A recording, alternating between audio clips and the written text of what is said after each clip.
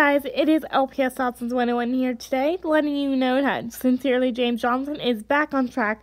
Otherwise, I'm going to be continuing Sincerely James Johnson in season 1.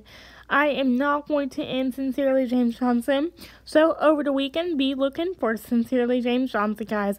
I will be doing new episodes every weekend since school starts back. Bye, guys.